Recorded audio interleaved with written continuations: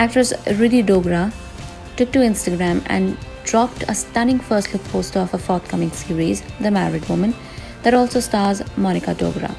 The series is helmed by Tanveer Bookwala and based on a book written by Manju Kapur. Ridhi on Instagram wrote, What is love? A question we ask ourselves until we meet the right one. Astha finally felt love when she crossed paths, kindred spirit, a soul that connected with hers. Astha found herself when she found Peeplika. The Married Woman teaser streaming tomorrow on Alt Balaji and ZEE5 Premium.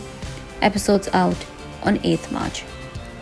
A Married Woman written by Manju Kapur is a story of Astha, a middle class Delhi woman with kids and a loving husband, who gets into an unconventional relationship with a younger woman.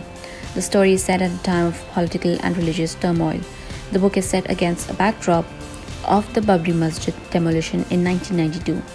This is not the first time that Ekta Kapoor has chosen Manju Kapur's book for screen adaptation.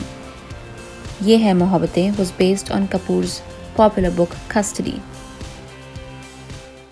Hello, subscribers. Not yet subscribed? No problem. We'll wait. Subscribe to our channel and also hit the bell icon.